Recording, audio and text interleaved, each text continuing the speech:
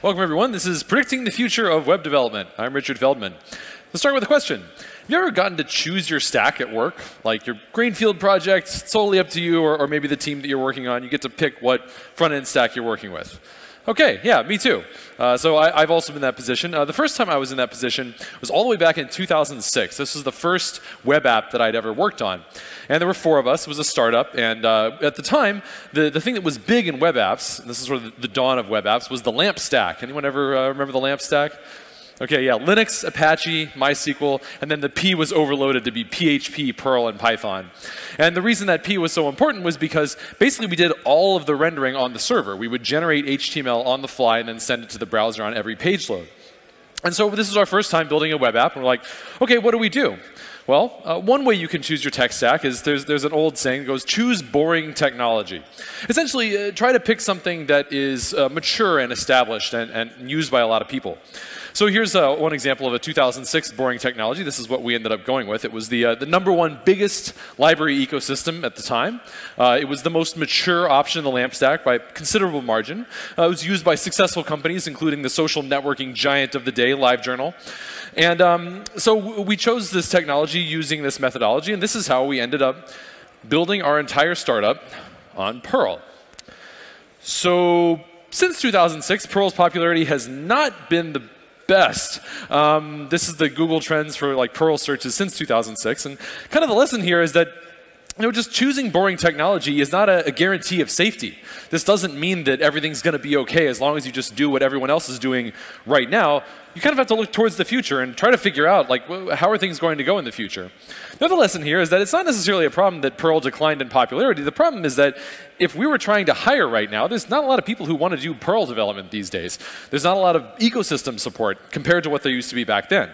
So it's not necessarily a problem if something is small, but there, it is a problem if people are losing interest in the technology and just don't really want to use it anymore. So any technology that we choose, no matter how popular, how mainstream, how much traction it's got today, is still making a bet on the future. There's no safe option here. It's just a matter of what do we think is going to happen. The real question, I think, is any technology choice we're making today, are we still going to be happy with that in five, ten years?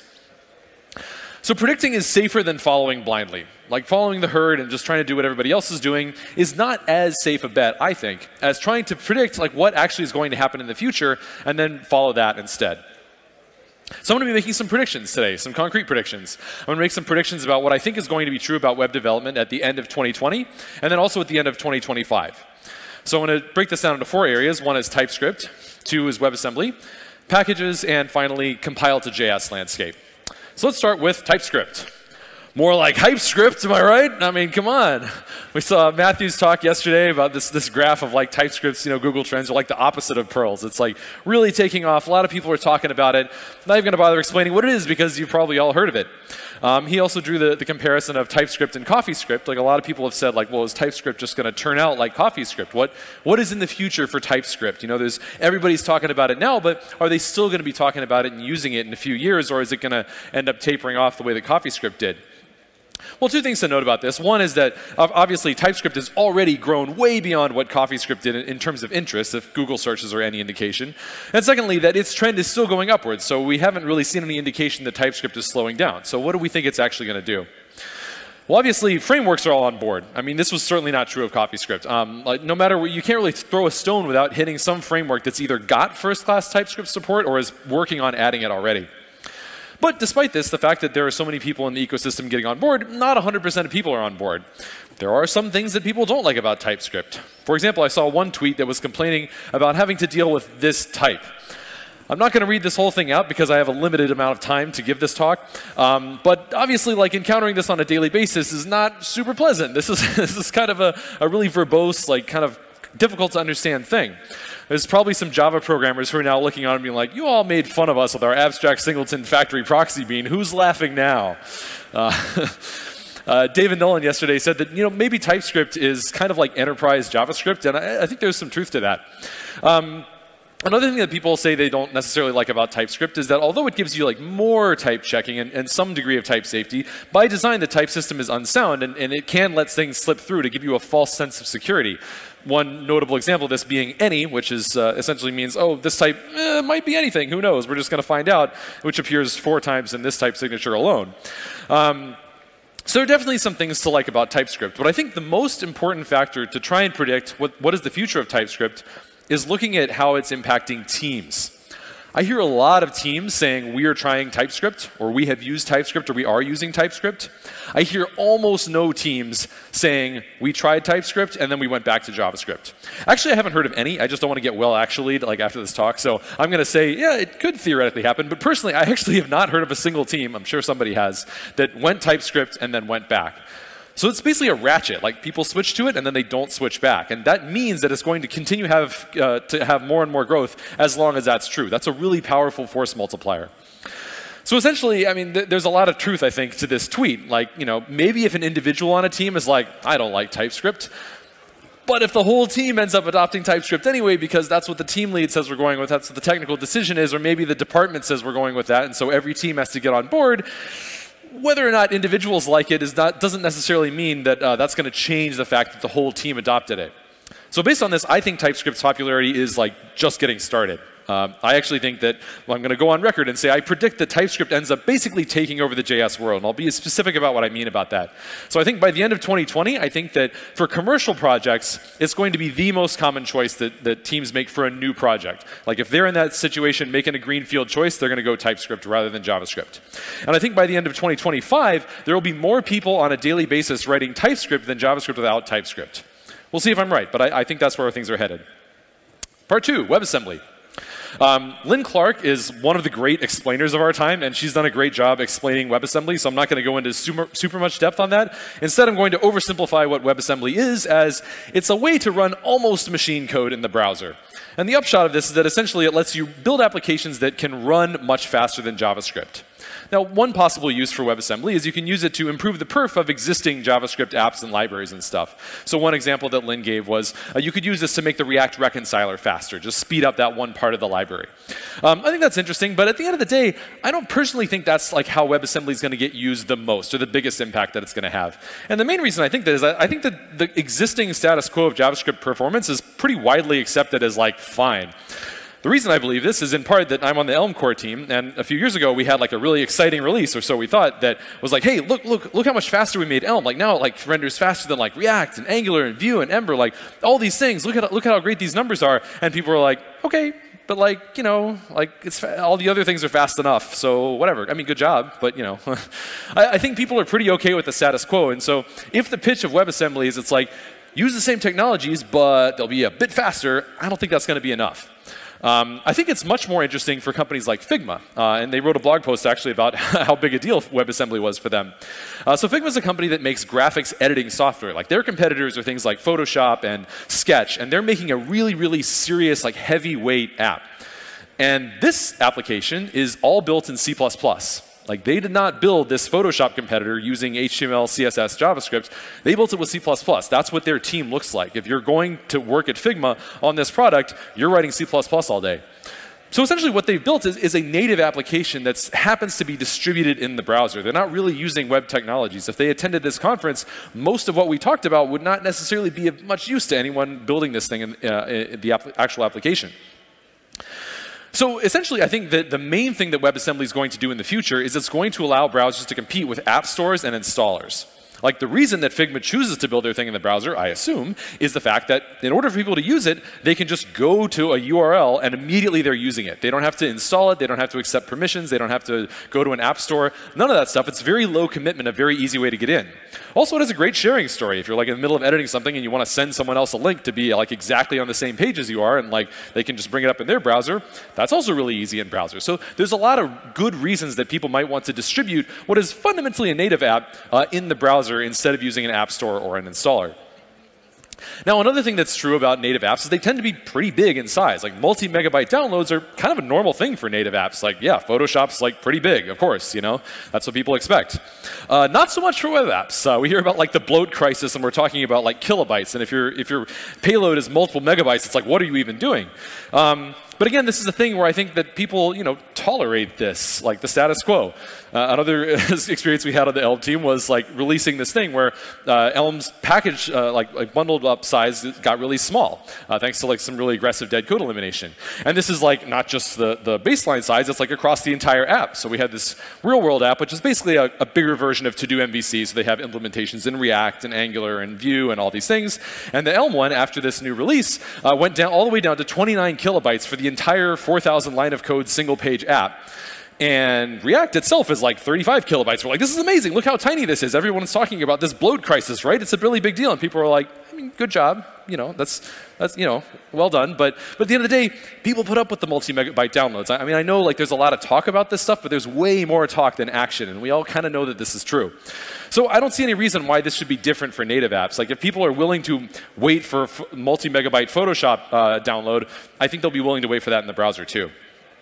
Okay, so a reasonable question at this point is it's like, okay, so if this is a whole new way of doing things, is this going to replace the way that things are done now? Is everybody going to be writing C++ or Rust in the future instead of HTML, CSS, and JavaScript?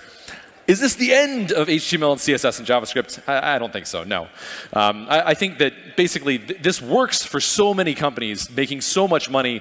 I don't see why people would change just because there is another option. I mean, there actually, as we'll talk about later, there already are plenty of other options to HTML, CSS, and JavaScript, and they're still the most popular by far. I don't think WebAssembly is going to change that. I really think the main impact of WebAssembly is going to be that the definition of what is a web app gets bigger because it starts to encompass this additional thing that just was not popular back in 2006 when we were in the LAMP stack, this idea of a native application distributed through the browser. One particularly compelling example of this, I think, is games. Like imagine rendering this scene where people can walk around in CSS. That's, that's, that's just not happening. I mean, you, you need these like really low-level, high-performance technologies if you want to ship a game in the browser. That's only a thing that's become recently viable, like a plausible thing that you can do, but it actually is a plausible thing that you can do now. And I think there's going to be companies that are going to be taking advantage of that and start distributing their games through the browser first. So prediction number two, I think WebAssembly is going to expand the web app pie. By the end of 2020, honestly, I don't think it's going to make much of a noticeable difference. I think the people who are working on these projects are going to be starting to work on them around now. Uh, but I think by the end of 2025, we'll start to see, okay, there actually is a new niche of like heavyweight web apps that are basically native apps distributed in the browser. Okay, part three, packages. How many people recognize this logo? Shout it out. What is it? Bower, yes. So uh, this was a competing package manager to NPM. They, they both coexisted for a while, and these days NPM uh, won pretty convincingly. And uh, now Bower usage has, sort of dwindled off, like even more so than Perl. Um, so a reasonable question to ask is like, okay, that, that happened to Bower. Could that also happen to NPM? Is there going to be something that replaces NPM in the future? Anyone recognize this logo? No, but interesting. This is Entropic. Um, so uh, there was a talk given earlier this year. Uh, this was at uh, JSConf Europe, uh, the, uh, the, Economics of Open Source by uh, CJ Silverio. And I don't want to steal her thunder. You should watch the talk and, and, listen to the points that she's making. But essentially, she introduces Entropic, which is an alternative package manager. It's a bunch of people who worked at NPM and, and went on for various reasons that she explains in the talk to, to build a competing package manager. Um, also, we've seen competing CLIs, like Yarn is another way to, to uh, access the NPM ecosystem. And now we're also starting to see competing backends, like GitHub Package Registry instead of like the NPM uh, e uh, server ecosystem. Now, worth noting that, I mean, Yarn is a CLI which accesses the same server hardware, and GitHub Package Registry is sort of the opposite. I mean, it actually, on their website, they talk about, here, use the normal NPM CLI to access this ecosystem, uh, just point it to a different URL rather than NPM servers. And so reasonable questions are like, okay, are these signs of, of NPM, you know, going away? And I think at the end of the day, the fundamental idea of NPM is the real thing that people are making bets on. Whether or not it's Yarn or, or something else, I mean, really people are into the network effects of NPM by which I mean the package.json file that says, here are all my dependencies, and they all have their dependencies specified in that way. Whether it's NPM servers or GitHub servers or something else, I think the important thing, the valuable thing, the thing that people can reasonably continue to bet on is that that ecosystem exists and all the network effects uh, continue to persist. I think they'll persist through continued problems. Uh, so we saw recently, uh, not recently at this point, a couple years ago, um, LeftPad, where someone unpublished a package and broke a lot of people's workflows. Um, they closed that off and said you can't unpublish packages anymore. That's all done. Uh, earlier today, Chris talked about EventStream, like a malicious package where someone successfully managed to get a hold, a hold of a package that was used by a lot of people and publish a malicious release. Um, so uh, Hillel Wayne wrote a really detailed write-up of, of, the EventStream incident. Uh, it's on his blog, and uh, one of the things that he talks about is basically like there was no like one root cause where you can just close this off and it's fixed, like there was with LeftPad. This is kind of a more systemic issue, and it's like not really going away anytime soon. This vulnerability is still there and is going to be there for the foreseeable future. And something that neither of those uh, touched on is this. So if I were to install front-end dependencies by running a bash script like this, what's the difference between that npm install, which is the way that most people install front-end dependencies. Well, one difference is that uh, when I run bash install.sh, it executes arbitrary code on your machine, which is a security concern. Whereas when you run npm install, it executes arbitrary code on your machine from thousands and thousands of packages. This is infinitely worse than running a bash script to like do install.sh because it's all of your dependencies and all of their dependencies dependencies. Now you might be thinking, what do you mean I'm executing arbitrary code? Well, there's this thing called a post install hook that any package can put in their package.json, and it will just execute arbitrary Node.js code, which is to say arbitrary code, on your machine every time that package gets installed. So if that's a virus, then cool, you just got a virus. Um, and I think the main reason that this hasn't happened yet is just that it hasn't happened yet. Like we haven't had uh, uh, like the outbreak of the, the NPM virus that someone spreads by using this. Um, this has been disclosed since 2016. NPM wrote a whole blog post about like, uh, hey, this is a thing that can happen to you. And uh, they posted at the end of this um, blog post, like, if you want to disable this behavior and make it so that post-install scripts and pre-install scripts don't run, run this command, npm config set ignore scripts true. And then by default, uh, they just won't run anymore. If you ask me, this probably ought to be the default. I've had this enabled for several years now, and although it's less convenient, there are various ergonomic issues with it, I still think it's better than being vulnerable to this virus.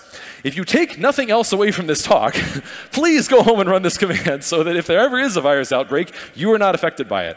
Because I think this is going to happen. I, I, I don't see why it wouldn't happen now that there's like blood in the water and people have said, oh, you actually can publish malicious packages like EventStream. Interesting.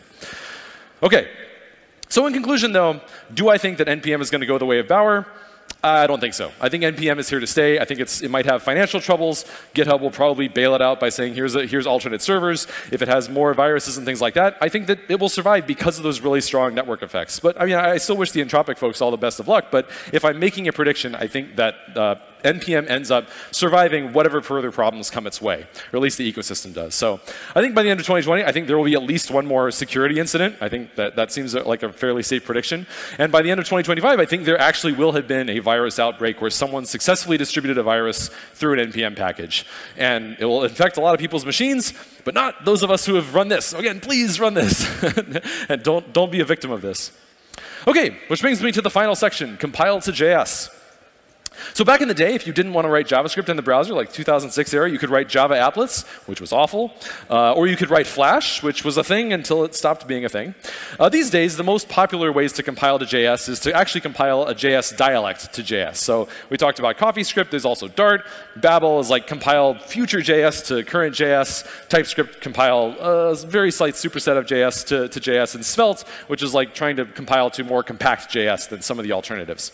Um, all of these fundamentally are basically the same upsides and same downsides as JavaScript. I mean, they are JavaScript dialects. Any number of them could have the tagline, it's just JavaScript, and people would be like, yeah, okay, that's pretty much true. Even CoffeeScript had that tagline. TypeScript certainly does. But there are other options which are not JavaScript dialects, which actually have pretty different upsides and downsides of JavaScript. We've heard about a couple of them. David Nolen talked about ClojureScript yesterday. Uh, we heard about uh, ReasonML from Bryan Phelps, and uh, I'm here representing the Elm core team. All of these are going to have sort of fundamentally different experience than writing JavaScript. It feels like writing a different programming language because it is a different programming language. Um, one thing that's different about these, that's uh, from, from uh, my experience, is that using a JS alternative is actually a cheat code for hiring good people. Um, I actually don't know how we hired anyone at NoRedInk before we started using Elm because pretty much everybody who applies these days, which is a lot of people, like we hired a, a head of talent and she commented, I have never seen an inbound pipeline this strong in my entire career all the cover letters say Elm in them because the number of people who want to use Elm is a lot bigger than the pr proportion of companies that have taken the plunge and are willing to actually uh, use it and then hire for it. Um, so I think there's a misperception commonly. Like intuitively, you might think, oh, it'll be hard to hire people. How will we possibly hire people? Like, man, I don't know how we hired anyone before Elm because it was way, way harder.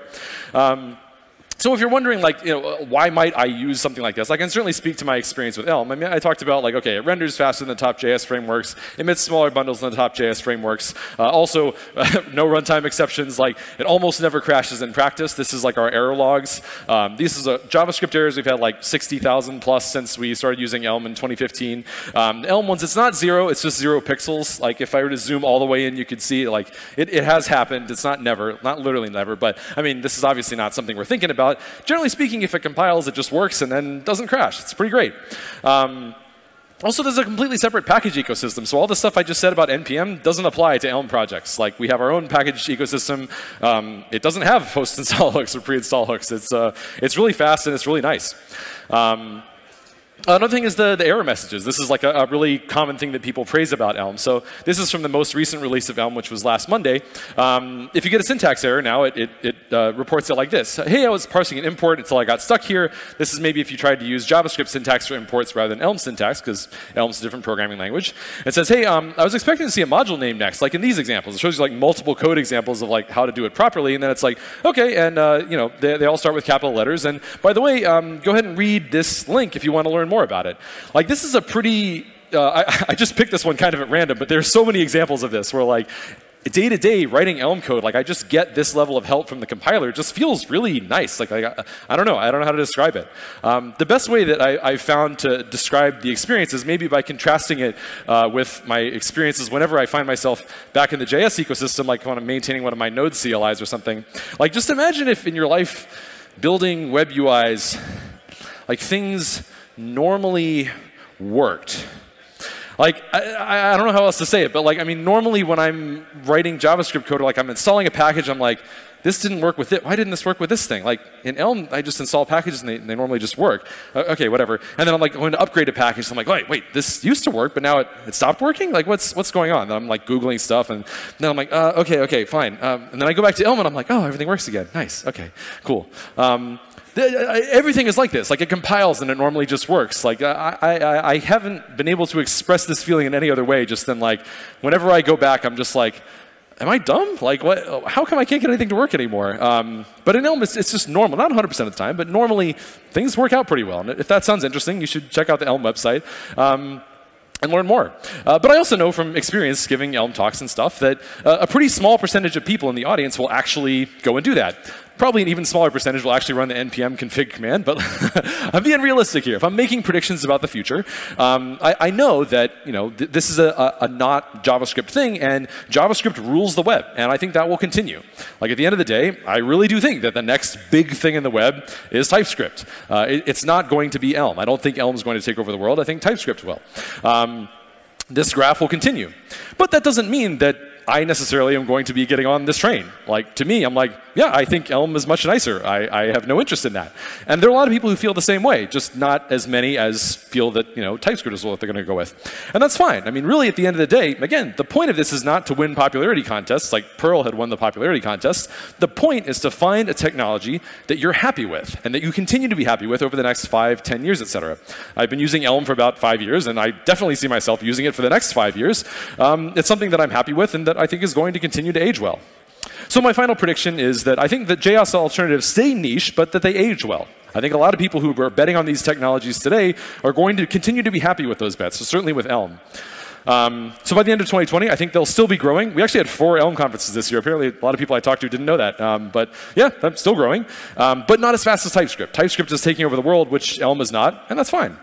Um, by the end of 2025, I think that they will have aged well, although, of course, TypeScript will have continued to grow and, and will, at that point, still be more popular. All right, so to summarize, uh, start about by talking about the, the path of, I'll just choose boring technology and everything will be fine. Eh, not necessarily. a lot of the times it's more about correctly predicting which technologies end up being something that you're happy with over the long haul. Um, talked about predicting is safer than following blindly, which can lead you into the same kind of situation we would have been in with Perl. Um, made a few predictions about TypeScript, WebAssembly, the web ecosystem, and compile to JS. Um, I predict that TypeScript is going to take over the JS world. WebAssembly is going to expand the web app pie rather than replacing things. I think NPM is going to continue to have problems, but ultimately it's going to survive them. And finally, I think that the JS alternatives like Elm, ClojureScript, ReasonML, I think they're going to stay niche in terms of popularity, but that they're going to age well, and they're a good thing to bet on. So what will I do personally? Well, uh, I think I made it pretty clear. I'm going to keep using Elm because I think it will continue to age well. Thanks very much.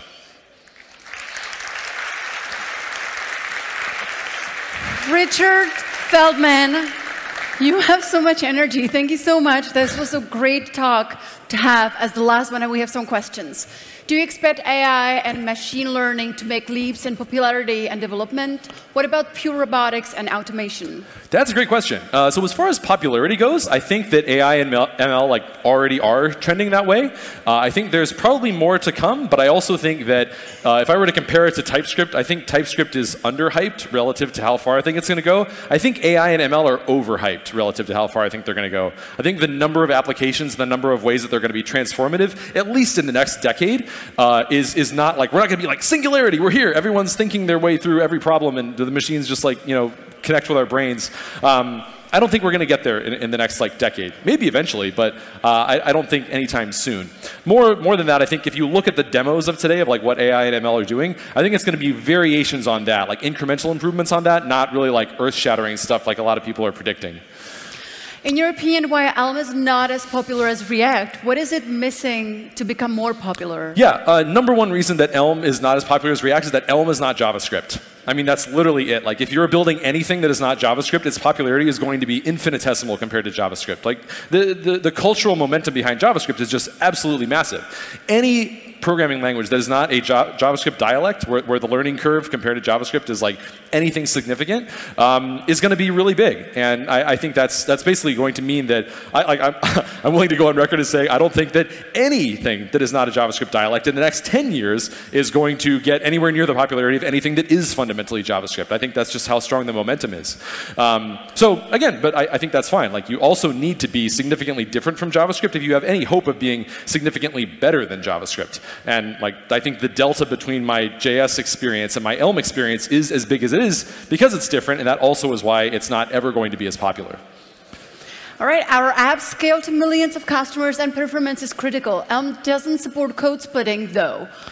Uh, yeah. And is, is it is a deal breaker for our team solution? We'll, we'll keep going with that one. Yeah, sure. Um, yeah, so that's a great point. Um, please get in touch with me because basically the, the steps that we wanted to take were like, cool, first let's make the bundle sizes really small with code splitting, and then we'll look at what are people's remaining problems, like in practice, like, hey, I have this Elm app and it's too big because of X. Um, and what we've heard from people who are actually building Elm apps is they're like, actually they're not too big anymore. We don't really want to go to all the trouble of code splitting, so never mind. Um, but if that's you and you're like, hey, even if like it were just like 29 kilobytes, that's too big for me. Or like, you know, I'm going to have a million lines of code and it's going to be, you know, uh, however much X that size. Uh, please come talk to me because we're trying to build features based on like people's actual needs and use cases rather than just like, oh, code splitting, we should like check that off because everyone's doing it. Like we want to actually solve the problem of page load times and bundle sizes rather than just like checking features off a list. Um, so yeah, uh, come talk to me. All right, uh, last question on this stage for you. Do you think ECMA Ooh. script will continue to be the dominant JS standard? Yeah, so that's that's a really interesting question. Um, I'm guessing where this is coming from is like, so there's ECMAScript, which is like, hey, this is how JavaScript should be, and then there's TypeScript, which is kind of like becoming the default compiler, if, if, I'm right, if my prediction's right and it ends up taking up, uh, taking over, um, what happens if TypeScript says, hey, you know what, like ECMAScript disagrees with us and we don't care. We're going to keep doing things the TypeScript way. Um, this is certainly not what happened to CoffeeScript. Like CoffeeScript, you know, ECMAScript ended up adopting some of CoffeeScript stuff and then replaced it. Um, so yeah, I think it's a totally valid question. Uh, I think that I, I, don't have super high confidence in like whether or not it will continue to be the dominant JS standard. I think if it's not, it will be specifically because ECMAScript and TypeScript clash, and TypeScript said, hey, look, we're not going to change. Um, but uh, I think it's probably more likely than not that if ECMAScript uh, did clash with TypeScript in some way where TypeScript was like, uh, yeah, you know, um, we're just, we disagree about what's right here, I think TypeScript would eventually cave. I think that's more likely. Um, I think it's pretty plausible that uh, uh, one thing I've heard people talk about is maybe ECMAScript will come up with a standard that says, hey, this is what types JavaScript is, and it'll probably be very close to TypeScript, but maybe there'll be some differences. I wouldn't be surprised if TypeScript said, okay, fine, we'll just like get on board, and now TypeScript becomes the, the dominant compiler of the ECMAScript type system. Um, so I think it's more likely than not, but I, I want to be honest that I don't have a super high level of confidence in that one way or the other. All right, thank you so much. Everyone, Thanks. this was Richard Feldman.